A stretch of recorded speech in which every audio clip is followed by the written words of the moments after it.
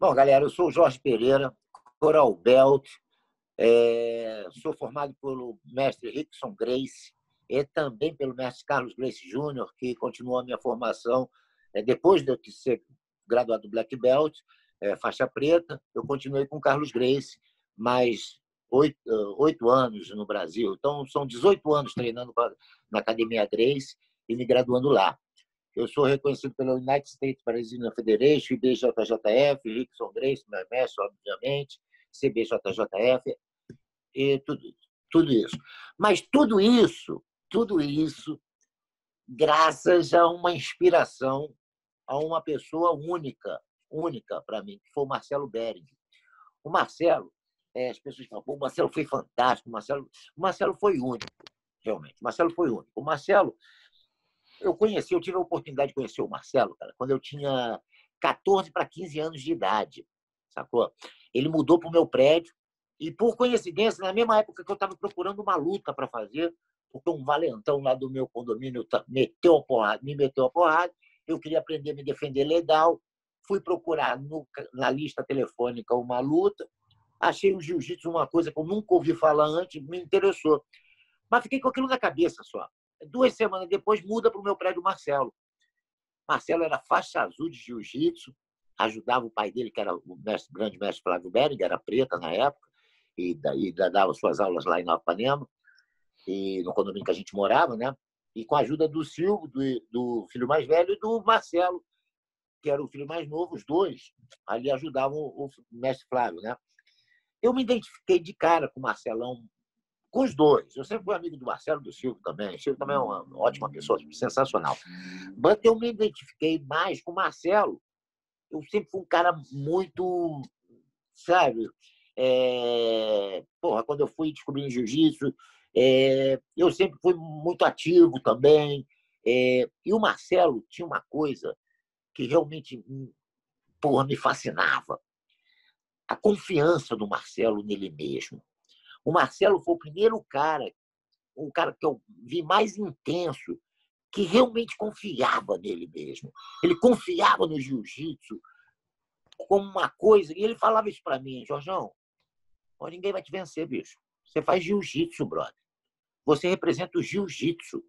Isso era uma honra. Então, por exemplo, toda ideia, se você for ver nas obras que eu faço, o Rio Rios, na minha carreira também, o pessoal fala, pô, o Jorge é um lutador honrado, o Jorge fala de honra pra caramba. Eu só falo dessa honra toda porque o Marcelo me passou tudo isso muito tempo atrás, cara. O Marcelo me, me explicava, cara, que tudo isso não valia nada sem honra, sem a atitude certa, sem você ter razão. O Marcelo nunca foi um cara que saiu abusando de um cara mais fraco, mexendo com a mulher do cara na frente dele para sacanear ele, para bater nele. O Marcelo nunca fez isso, cara. O Marcelo nunca abusou ele, porra, ele, ele, não era que ele era bonzinho, não. Na hora que o pau comia, ele era mal. Mas eu nunca vi o Marcelo fazer uma covardia, sacou? E ele ficava muito zangado. Se alguém pusesse a mão para meter, para ajudar ele em alguma coisa. Ah, Marcelo, tu estava brigando, eu fui. É, sou eu e o cara. Se tu meter a mão, eu vou ficar contra você. Eu vou brigar com você se você bater no cara que eu estou brigando. Entendeu? Isso é uma atitude de homem que você não vê em nenhum lugar.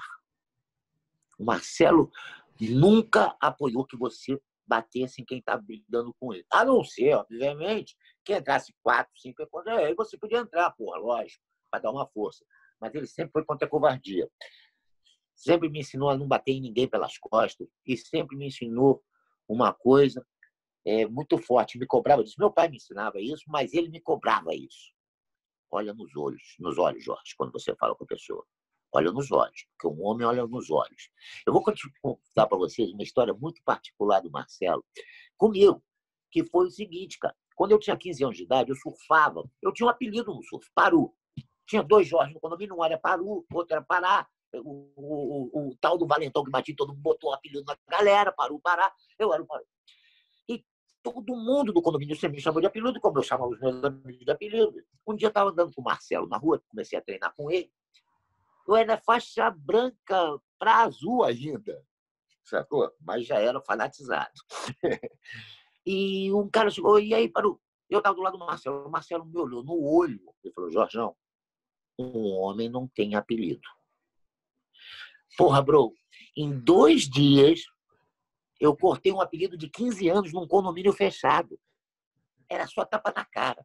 Já pau! Já falei que meu nome é Jorge Pereira. Pau! Pau! No terceiro, no quarto tapa na cara, o negocinho já, opa, Jorjão, tudo bem. E eles já começaram a aceitar meu nome, entendeu? Eu nunca mais ouvi esse apelido, para falar a verdade. Nunca mais. Há anos. Para não te mentir, outro dia minha esposa, de sacanagem, me chamou de paru para me zoar aqui em casa. Para não te mentir, a minha mulher outro dia me chamou de paru para me sacanear, para brincar comigo. Mas, você vê, eu levava muito a sério o que os ensinamentos que o Marcelo me passa. O Marcelo também tinha o apelido dele, mas negozinho não falava ele pela frente, obviamente, né, cara? tinha o apelido dele que ele chamava de Careca, Marcelo Careca, por quê? O Marcelo, quando ele era mais novo, usava o cabelão do surf, também era surfista, e a mãe dele, Marcelo vai cortar cabelo, Marcelo vai cortar cabelo. Um dia ele ficou de saco cheio, foi e raspou a cabeça toda. Quando chegou em casa, a mãe falou, porra, Marcelo, Pronto, agora eu já não preciso mais, não precisa mais falar nada, já estou careca. Aí botaram o apelido Marcelo Careca, Marcelo Careca, aquelas coisas, chamavam ele de Marcelo Careca.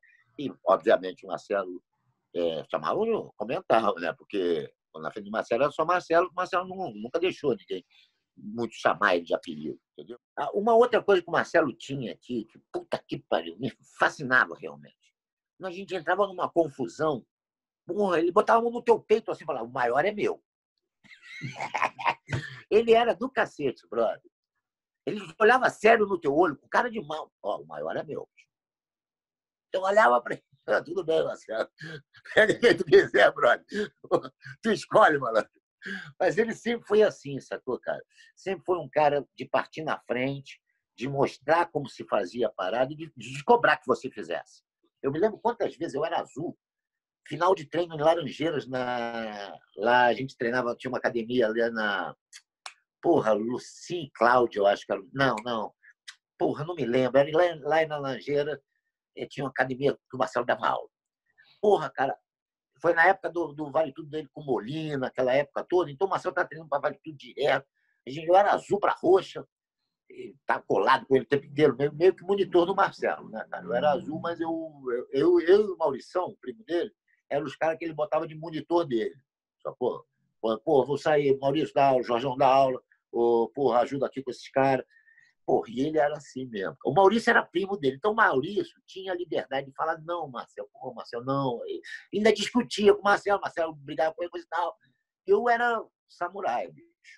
O cara falava, Jorjão, atravessa essa parede aí, puta, eu arrebentava a cara toda, mas eu ia tentar furar a parede com a cabeça. Marcelo mandasse fazer, eu ia tentar fazer ia arrebentar todo, mas eu ia tentar fazer até o final. Ele falava, pô, parar, tá brincando, pô. mas, entendeu? Eu era assim com o Marcelo. Então, pô, eu me lembro várias vezes, cara, a gente cansadão, já no treino, querendo ir embora. Aí chegava um cara novinho com luva de boxe. Ou eu vim ver qual é do jiu-jitsu aí, pô, pra mim, tudo junto. Ou vinha um sem luva mesmo, querendo trocar porrada. O Marcelo, ele, ele olhava para mim e falava, Jorge, pera. Ele mandava tu primeiro para você, se você tomasse sua doença, ele ia entrar, lógico, ele ia pegar a parada, entendeu? Mas ele te bolava na, na parada. E eu gostava disso pra caramba, bicho. Porque isso que foi que, que me construiu de verdade. É, porque, na verdade, obviamente, eu devo o meu jiu-jitsu, é, a minha formação ao, ao mestre Rickson Grace, à família Grace. Mas esses exemplos do dia, eu era mais colado com o Marcelo do que com o Rickson, propriamente dito. O Rickson era um pouco mais velho que eu, e o Rickson tinha mais a turma dele, ele morava lá embaixo, eu morava na Barra, eu com o Marcelo, no mesmo prédio. Porra, Marcelo pegava minha prancha, pegava a prancha do Marcelo, a gente surfava, entendeu? Então a gente já tinha uma outra, um outro relacionamento, entendeu? E o Marcelo, sempre muito assim, muito, porra, João, porra, me lembro uma vez no surf, cara, porra, vou nem citar o nome do cara, o cara famoso de surf, aí eu gosto de ficar, ah, pô, falar essas besteiras. Mas, pô, tava pegando uma onda lá no recantinho do recreio com o Marcelo, entrei numa direita, o garotão me rabiou. Eu, pô, nunca fui bom de surf, brother. Eu, tô nela, tô nela, caía, mas pegava minhas ondas, brigava mais do que pegava onda. Sempre foi assim. Sempre saiu, o pessoal do, do sul de Nova sempre, Jorjão, Jorjão, só para brigar com os caras, com os Raul. Bota os Raul para fora. E, e respeitava minha onda também, porque era maluco. Mas, pô, rezava, não cai, Jorjão, não cai. Então, eu não tinha esse surf todo, né? Então, uma vez o garotão desceu à direita, eu desci atrás, caí. O maluco era profissional, adiantou, falei, Quando eu volto para o Pico, Marcelo olha para mim, ele entrou na tua onda, né, Jorjão? Eu falei, é, entrou, Marcelo, mas nem me atrapalhou, caiu. Tu vai dar um tapa na cara dele, hein? Eu falei, pô, Marcelo, mas nem vai... Se tu não der, eu dou. Eu falei, não, eu dou, Marcelo, eu dou. O cara chegou, aí, meu irmão, tu entrou no meu ponto, caiu, pá! Não quero saber. Fora d'água. Botei o cara para fora d'água. Porque o Marcelo falou para botar, pô. E com essa atitude eu comecei a, a entender. De, olha, não é questão dele ter atrapalhado a tua onda. Não é questão de você ter caído na onda. É questão da falta de respeito dele, de ter remado na onda de um lutador de jiu-jitsu, de um faixa preta, ou de um lutador, não era preto, mas de um lutador de jiu-jitsu, de um representante do jiu-jitsu. Ele tinha que ter respeito. Ele não deveria ter remado. Se ele te atrapalhou ou não, é uma outra questão. Mas ele já te desrespeitou. Então, tapa na cara. Então, assim eu aprendi. E assim eu comecei a ser, sacou, brother? E aí fiquei, eu fiz até meu nome no, na, na, na, galera do surf também. Não pelas boas ondas, mas, porra, foram tantas porradas, tantos caras que eu botei para dormir, tantos caras que eu expulsei da água. E quando eu chegava na água, era engraçado. Não sei fazer isso. A molecada, o Jorge chegou, pô, pô, Jorge, eu quero voltar para fora ali. Jorge, eu quero. Porque antes, quem fazia esse papel era o Marcelão. Marcelo vinha levando o nosso point ali numa boa. O Marcelo se mudou.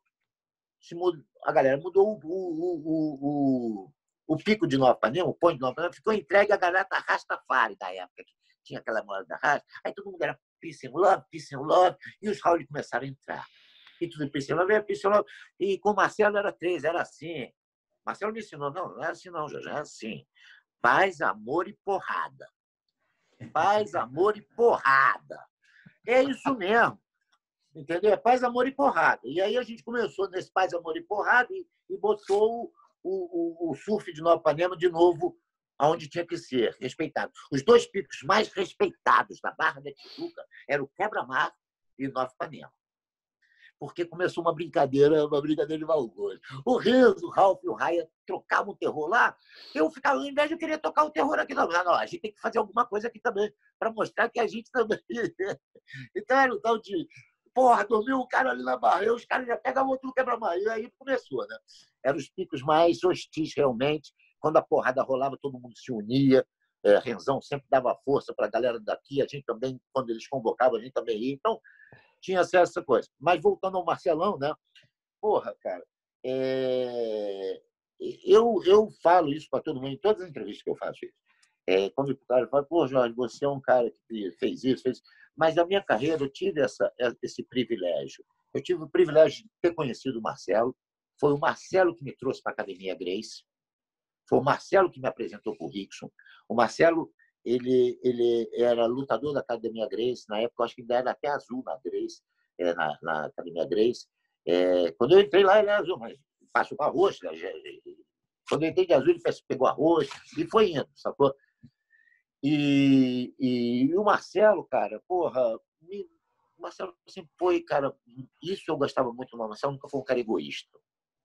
O Marcelo nunca foi um cara possessivo com o aluno dele. Por exemplo, ele foi um cara que me ensinou até faixa azul, me ensinou vários conceitos, mas um dia, quando ele me levou para o Rickson, ele falou, pô, o que está treinando na Academia Grace, ele me deixava com o QI e eu continuava treinando com ele, sendo aluno dele, mas ele nunca ficou... É Porra, você não, você é meu aluno. Não, não, você luta pela Academia Grace, você é meu aluno, você luta pela Academia Grace. Eu me lembro uma luta minha que foi clássica, clássica, uma final do absoluto faixa azul, no Copa Van Sport, me lembro até disso.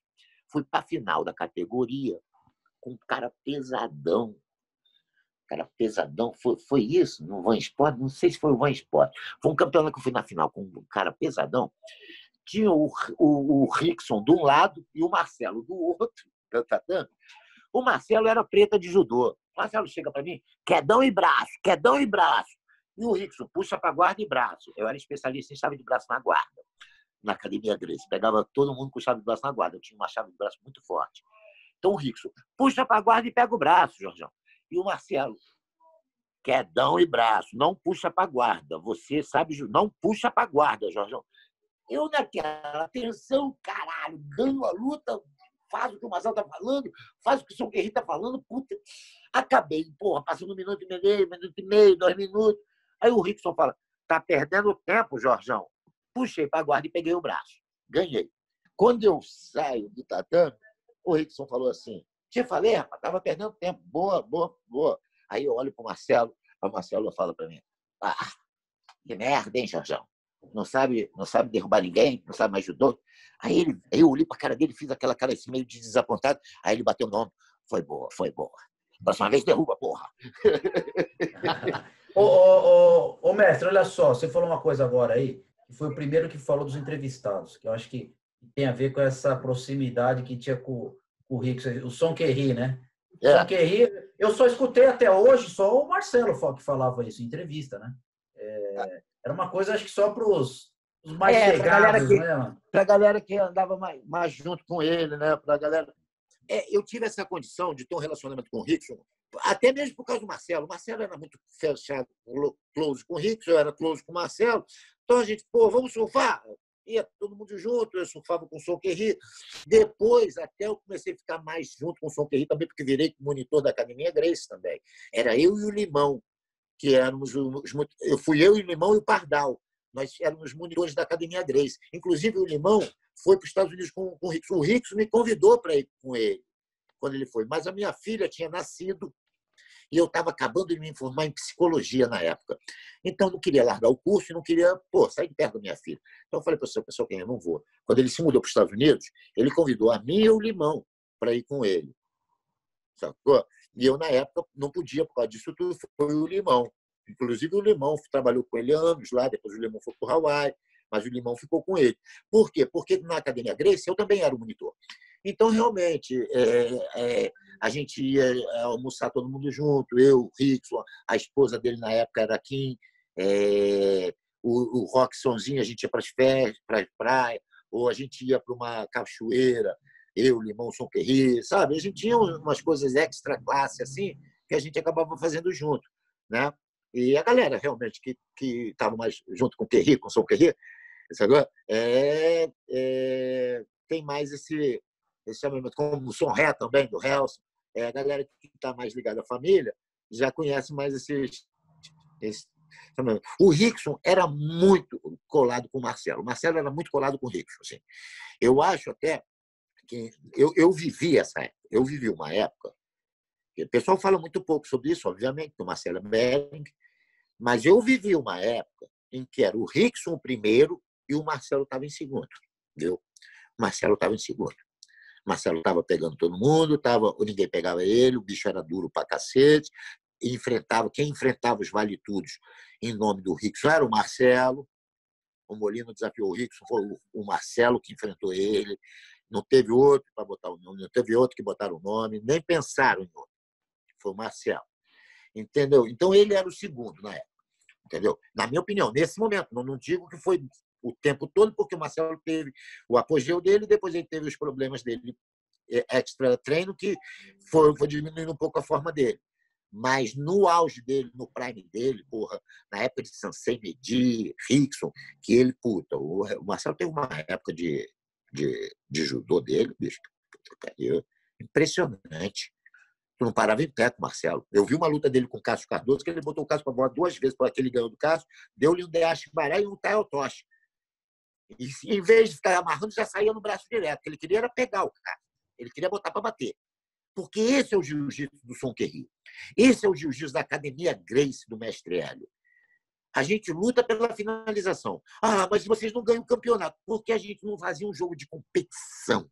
A gente fazia um jogo para finalizar.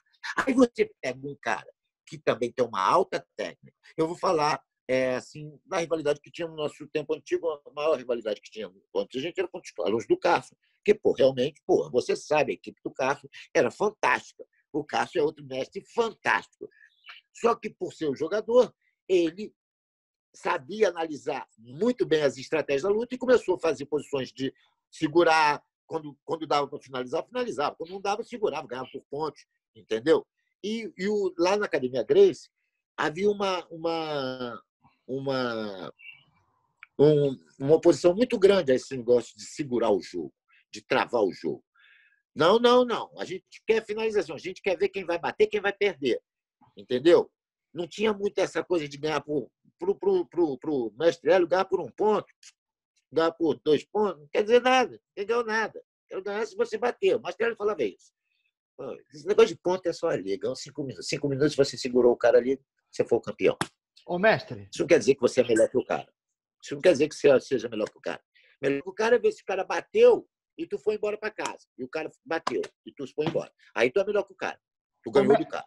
Ô, mestre, conta para ah. nós o seguinte: esse envolvimento todo do Rickson, Marcelo, você, o que, que você acha, né? Que ah. você presenciou, o que fazia os alunos do Rickson ser tão especial como o Marcelo, você foi também? Uhum. É, conta assim, ah, nas, nas entranhas, né? como é que era esse negócio aí? Porque, lógico, tinha o talento pessoal, nato, mas uhum. tinha a, a forja, uhum. né? Como foi essa forja aí? Bom, é exatamente isso que eu estou te falando. Os alunos do Rickson eh, e o Marcelo, eu acho que era a maior expressão dos alunos do Rickson era o Marcelo. Por quê? Por causa da confiança dele. O Som Querri é pura confiança. O Som Querri passa isso para você. O mestre é.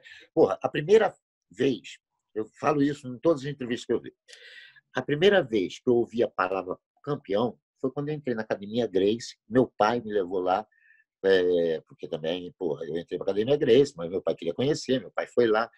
E quando ele chegou lá, o mestre falou: E aí, campeão, tudo bem? Me chamou de campeão. O Rickson me chamou de campeão. E eu cheguei para o meu pai e falei: Pô, não sei por que eles me chamaram de campeão, não lutei nada, não ganhei nada. E com o tempo eu descobri que só o fato de você estar tá entrando para jiu-jitsu, você está entrando para a família Grace ali, você é um campeão. É isso que é o grande, a grande, especi, o grande coisa especial que o Jiu-Jitsu Grace tem.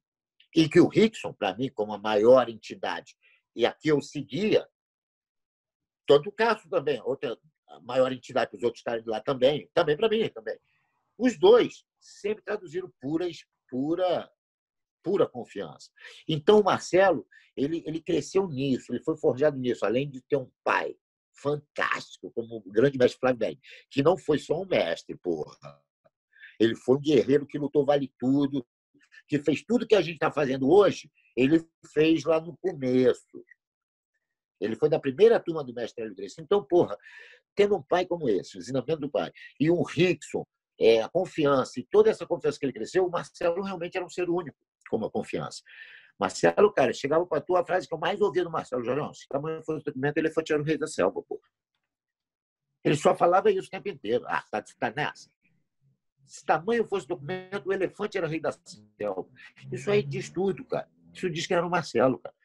O Marcelo, pô, quanto maior o cara, maior o desafio, mais ele queria. Eu vi uma vez o Silvio falar uma coisa do Marcelo que é realmente é, é, descreve o Marcelo. Você tem dois caminhos, Marcelo. Por aqui, pô, vai ser calmo pra caramba, cachoeira, dá para você mergulhar. Bom, aqui tem que tomar cuidado com dois tigres nesse caminho aqui, Marcelo. Ele vai escolher o caminho dos tigres, bicho. Ele não vai querer ir pelo calmo. Ele vai querer ir nos que tem os dois tigres. Sempre foi assim. Sempre. Então, agora, ô, mestre, só falou uma coisa que é interessante pra caramba, que acho que pouca gente fala. É, é, você estava nas duas lutas do Cássio Cardoso com ele ou não? Estava nas duas, sim. Não, estava nas três, na verdade, porque foram três. Ele, na primeira, ele ganhou botando para voar duas vezes, num, num, acho que foi num company, não sei qual foi o campeonato. Ele deu um 10 baralhos, nessa ele ganhou, 4 a 0 papá. Aí teve uma outra que ele foi para. Esse campeonato foi épico, épico. Eu estava com ele, épico. Eu nunca vi isso na minha vida. Ele foi para a final da categoria leve, com, ou médio, com Cássio Cardoso, e foi para a final do absoluto com Riga Machado. Ele estava com o ombro fudido, brother. Estava estouradão. Antes da final com Cássio. Ele já estava fudido. Ele lutou com o Cássio. Acho que o Cássio raspou ele. Eu não me lembro do placar. Foi pontos. Ele fez dois pontos, acho que, no Marcelo. Raspou o Marcelo ganhou a luta ele já saiu fudido, já estava fudido, saiu fudido. Eu falei, Marcelo, porra, tu não vai lutar absoluto. Não, tem que lutar. Tem que lutar absoluto. Ele lutou com o Reagan também perdeu por pontos, ou vantagem, um negócio desse. Se vocês pesquisarem, isso eu não gosto de falar muito, porque gente vai ah, escalagem, não falou foi ponto, foi vantagem. Eu não tenho exatamente qual o placar dessas duas lutas. Mas eu sei que ele perdeu uma coisa close, não foi nada de nenhum, nem passar de longe de finais, nada disso. É, pontinho, perdeu. Por isso, um a um, nasceu a parada de ter uma terceira luta. É, agora, essa terceira luta também veio muito, eu não sei se a galera sabe disso, não. Quando o Marcelo chegou de viagem, o Marcelo estava passando um ano lá no Hawaii, mais relaxado, não treinando nada, não treinando nada. Quando ele voltou de viagem, o Cássio estava gastando a mão Honda que o Cássio estava pegando todo mundo. Que o Cássio podia lutar com o Rickson até. Estavam falando do Cássio lutar com o Rickson até. Quando o Marcel chegou, vamos lá no carro, que a gente vai fazer isso, isso. A história que eu, eu não estava lá. Então, o Negrinho, ah, eu nem estava lá. Eu não estava lá. Mas eu ouvi dos dois. A história, Marcelo chegou lá querendo sair na porrada. Marcelo não chegou para desafiar de kimono, não. Marcelo desafiou primeiro para uma luta. O Cássio, o Cássio Grace, não, não. São dois representantes de jiu-jitsu, é de kimono, BBB, e a coisa ficou certa de kimono. Mas o Marcelo, quando foi, o Marcelo sempre foi brigador. Sempre quis estar na porrada. E para ele, o que definia mesmo era o vale tudo. Jiu-jitsu era legal, mas o que definia para ele? O Marcelo sempre foi um amante do Vale Tudo. Por isso que eu sou, por isso que eu fiquei tão obcecado do Vale Tudo na vida, cara. Desde faixa azul, o Marcelo me faz lutar Vale Tudo. Faz a mão limpa, tá, só tapa, Jorge, só só tapa, não vai, pega esse, pega aquele. E não deixando eu, eu nunca refugar, refugar. Eu sempre tive essa coisa, então. Então, quando o Marcelo morreu, é, eu mesmo já não treinava mais com então, é, é, isso, né? O que, a gente estava em que parte mesmo Marcelo? Não, não, na verdade, o, o, o, Mestre, você está falando uma coisa que eu acho super interessante, é, é. A impressão que eu tenho do Marcelo é que ele tem esse jiu-jitsu que era muito do, do jiu-jitsu antigo, que vinha né, bem antigo mesmo, que os caras lutavam jiu-jitsu, mas no fundo eles gostavam de vale tudo. Né? Exato. Porrada, eles gostavam... Aliás, o Marcelo vem exatamente dessa época. Dessa época em que a gente lutava jiu-jitsu para defender o jiu-jitsu no Vale Tudo. A gente lutava os vale tudo para defender o jiu-jitsu. Então, por exemplo, essa honra toda que eu falo, porra, cara, qual é a maior honra que o Marcelo me passa? Porra, Jorjão, a gente vai defender o jiu-jitsu. Isso aí pra gente, cara, porra, isso pra mim era tudo. Hoje em dia, negozinho ganha dinheiro para lutar. Eu costumo dizer que eu e Marcelo, na época dele, a gente pagaria para lutar pelo jiu-jitsu. Porra, negozinho tá falando, não, eu pago para defender o jiu-jitsu, eu quero lutar, eu pago para defender. Hoje em dia os caras querem ser pagos para lutar. É diferente, é business hoje em dia. Mas antigamente era paixão. E eu acho essa grande diferença, vale tudo MMA. Eu acho que essa, sempre falei isso. Vale tudo é paixão. MMA é razão, é business, é fama, é negócio. Vale tudo não, é honra, é defesa do clã, é defesa da família. Por isso que eu gosto do Vale Tudo. Para mim, o MMA é uma agressividade gratuita, é só eu bato em alguém para ficar famoso. Eu bato em alguém porque eu aprendi um pouquinho de boxe aqui, eu chupei um pouquinho de taekwondo ali, eu I suck ali no boxe, I, I suck jiu-jitsu, I suck... A vampire. São os vampiros. É, eu digo, e o negocinho fica bravo comigo, mas eu digo que o MMA, na minha opinião, foi a prostituição do, arte, do, do atleta de arte marcial. Por quê? No Vale, nós vínhamos defendendo a família Grace, o jiu-jitsu. O cara que faz karatê há 50 anos, ele defende o karatê. O outro defende o Krav Maga. O outro defende. Quando você traz o MMA, ninguém pertence mais a nada. Eu só quero. Ai, você é bom em, em? Me ensina um pouquinho. Você é bom em taekwondo? Ah, me ensina um pouquinho. Amanhã ou depois, se eu vou lutar contra o teu irmão no Muay não vira chifre. Se eu vou lutar com o teu irmão no taekwondo, não, não interessa. Eu sou MMA eu luto judô, eu luto tudo, eu abaixo a calcinha em qualquer lugar para sugar um pouquinho de técnica e me construir. Prostituto do, do, da luta. Desculpa falar isso, é o que eu acho. Para mim, quando eu aprendi, eu tive uma forte relação com os meus mestres. Mestre Rickson Grace, mestre Carlos Grace, obviamente mestre Hélio, que, que é o responsável por tudo isso, e o Sansei Medi, que me ensinou muito judô também foi, foi, foi meu mestre também. Então, eu tenho essa, essa coisa pelos meus mestres. Se for para por eles, não precisa nem me pagar. Se o Rickson não fala, Jorge, eu preciso de um cara aqui para mostrar que o juiz. A última coisa que eu vou perguntar para o Rickson, quanto é que ganha? Primeira coisa que eu vou falar, pô, obrigado, São Pierre, por me dar a honra de estar no seu time defendendo a nossa família, a família Grace. E é por isso que quando você falou assim, as pessoas falam muito que o Marcelo era foda, eu falo assim, eu costumo falar que o Marcelo era foda com PH, pura honra. Foda com PH é diferente, é pura honra. É isso que era foda no Marcelo, era um cara honrado. Isso aí, porra, cara, eu tive o prazer de ver as atitudes dele no dia a dia, é, entendeu? E, porra, ele mesmo falando pra se tu vai entrar, tu entra. Ninguém te bate. Tu vai entrar? Tu vai entrar, então tu entra. Se tu não vai entrar, tu não entra. Mas se tu vai entrar, tu entra. Sabe, Marcelo sempre teve uma postura assim, ó. Tu falou que vai fazer, tu faz. Entendeu? Marcelo era um cara muito firme nas coisas dele, muito justo. Era justo, não era um cara babaca, não. Nunca foi injusto. Comigo, nunca foi injusto, foi sempre justo. E ele fala, ah, que o Marcelo dava tapa na cara. Olha, Luca, posso te falar uma coisa?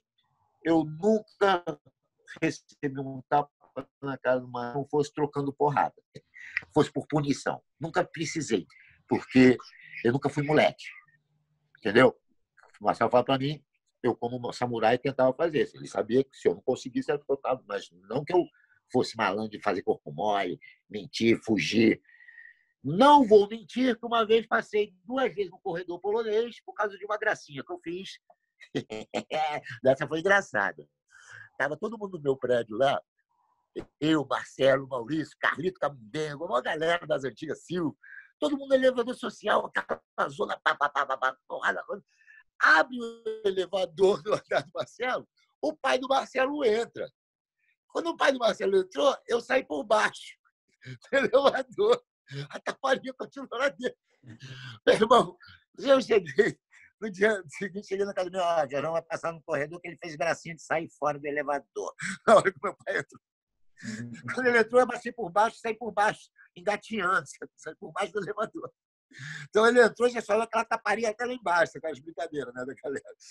Os camaradas que estavam fazendo zona, o Mestre já entrou, trocou as tapas, todo mundo brincou, só que eu escapei dessa.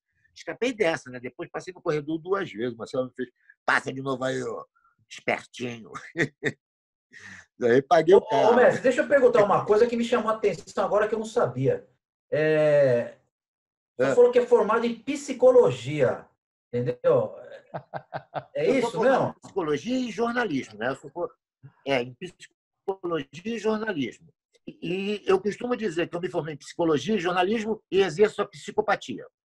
Porra, porra eu, tava, eu queria fazer esse gancho, pô. Fica legal. Psico, comunicação, acabou dando psicopata. Porra, eu estou vendo um representante, um representante raiz do jiu-jitsu, ligado ao Vale Tudo, camisa do Rio Heroes. Fala, não, eu me formei em psicologia. É isso aí mesmo que eu entendi, né? É, e você sabe de uma coisa, um outro psicólogo famoso que tem no jiu-jitsu é o João é. Alberto Barreto, o grande mestre João Alberto Barreto. Ele é psicólogo também. Ô, mestre, e, porra, não... esse aí, porra, dispensa comentários, né? Esse aí é o nosso fenômeno do jiu-jitsu. Para mim, um dos maiores nomes do nosso jiu-jitsu, sem dúvida, João Alberto Barreto. Mas vem cá, eu quero contar uma história. Ah, não, não, isso é sobre o Rickson. A gente está falando sobre o Marcelo. Mas tem uma história do Rickson que é fantástica. Conta, conta, conta, conta. Pode contar, conta aí. Não, essa. Então eu vou contar e vocês vão. E olha, eu conto isso nos meus seminários e o pessoal fica assim de bobeira, sabe? Isso aí é realmente o som terrível. O, o Rickson, eu tive na Califórnia uma vez com o meu patrocinador, e com a minha família toda, e com o meu patrocinador. E meu patrocinador era doido para encontrar o Rick. Pô, conheceu o Som Terri. Aí ele falou, porra, Jorge, eu liguei pro Rick, Rick falou, porra, vamos fazer um churrasco aqui em casa? Ele adora fazer uma carne, o Som Terri. Não é que ele coma carne muito, não, mas ele gosta de fazer o molho, o molho secreto. Ninguém sabe o que, que ele faz aquele molho gostoso para cacete. Então ele falou, vamos preparar uma carne, vamos comer uma carne em casa. E a gente foi, eu me lembro, estava eu, estava o Renato Magno, que estava na Califórnia, estava no churrasco, é, o Juan, meu patrocinador, o, a família dele, minha família, é, minha, minha mina, né, meu filho não estava vivo, não estava nascido ainda, só minha, minha esposa. Então, estávamos lá, comendo uma carne, e tal. O Rickson chega no meio de todo mundo e fala assim: Jorge, vem comigo aqui. A Dani, minha esposa, falou: Posso ir? Falei, vem. Eu só eu e ele. Eu e ele. Ele foi numa área de um jardim dele. Ó, presta atenção nessa história, essa história é crazy, bicho. É crazy de verdade. O Rickson tinha lá no jardim da casa dele um deus balinês cercado de flores brancas e vermelhas e todo bonitinho, coisa e tal. E ele virou para mim e falou assim, Jorge, não sabe qual é a história desse deus? Eu falei, não. Quando eu ia lutar com Takada, eu estava me preparando, correndo nas areias de Malibu, correndo aqui na coisa, e bati, bati, pisei numa coisa. Quando eu desenterrei, era esse deus balinês todo quebrado. Tudo. Eu trouxe para casa, botei aí, comecei a remodelar. Consertar aqui, consertar ali, pintar o. Pesquisei. Aí as coincidências começaram a aparecer, Jordão. O símbolo desse deus balinês era o triângulo, o mesmo símbolo da família Grace. A, a palavra de ordem desse deus era o desafio. Ele ia lutar com tacada. Ele estava se preparando para lutar com tacada. E as cores desse deus eram branco e vermelho. Agora é o que é o Som Terrível. Quando eu cheguei aqui, Jorge, eu botei ele na grama, tudo verde. Pintei, reformei, comecei a, a regar. E depois de um mês, dois meses, começaram a nascer as flores vermelhas e brancas. Eu nunca plantei isso aí. Porra, legal, fantástico. Quando a gente sai da casa, você sabe como é que é a mulher.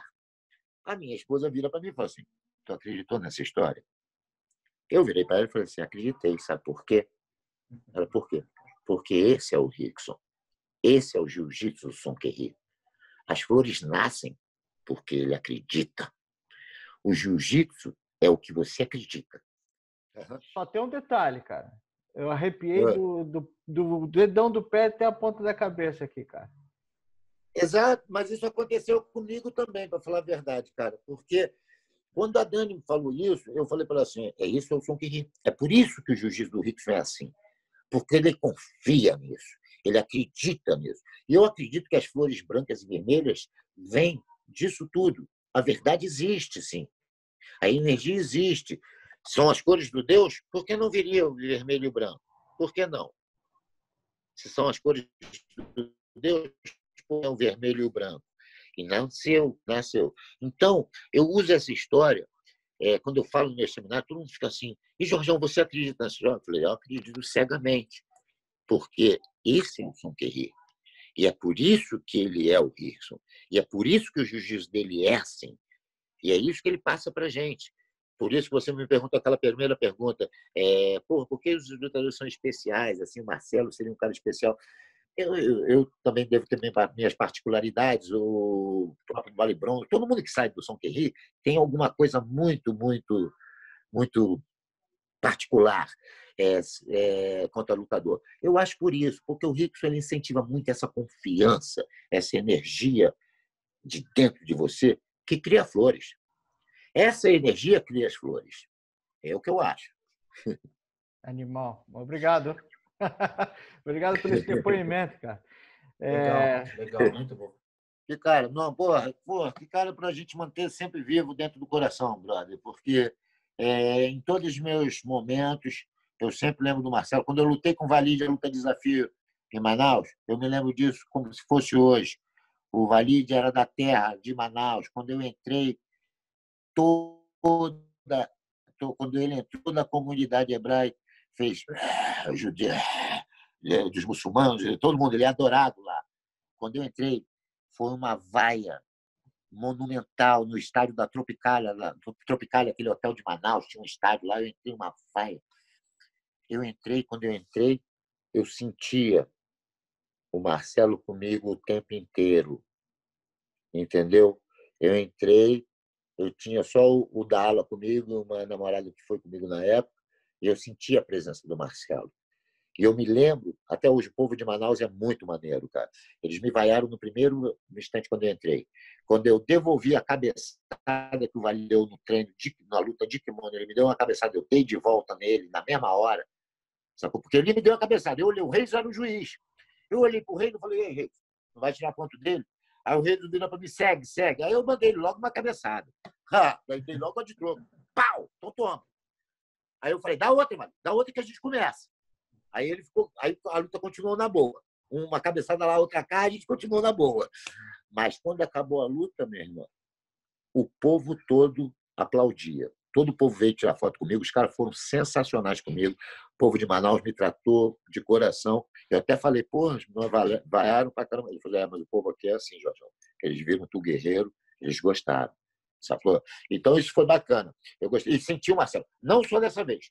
A outra vez que eu senti o Marcelo mais forte na vida foi quando eu tomei o knockdown do Alessandro Stefan, na minha primeira final de Vale Tudo. O pessoal invadiu o ringue, teve aquela paralisação porque ele me deu um soco na crocô, eu levantei. Eu estava no corner vendo três Alessandro Stefan, três juízes, ouvindo o público. Estava vendo parede trocar de lugar, estava grog. Malandro abraçando o portão. Jorge, está sentindo bem? Estou vendo três. Mas uma coisa eu não parava de ouvir, brother. Eu só ouvia o Marcelo para dentro, Jorge, para dentro, para dentro, Jorge, para dentro. Eu só ouvia ele falando para ele para dentro, como ele sempre falou a vida inteira. Para dentro, Jorge, para dentro. E eu parti para dentro e eu ganhei do Estefan. Montei, finalizei ele com um soco na cara. Se vocês acompanharam a câmera, ele bate. Agora, 30 anos depois, ele começou a questionar isso. Não sei se ele falou que estava com shake na mão. Mas ele bateu, bateu. Mas eu já falei, eu falo isso em todas as entrevistas, ele deve ficar zangado com isso. Hein? Daqui a pouco vai querer me bater, esse garotão. Hein? Mas antes que ele me bata, eu vou dar um presente para ele no Natal. Vou mandar o meu cinturão para ele. Aí ele falou, eu sou campeão, sou campeão. cinturão é meu, rapaz.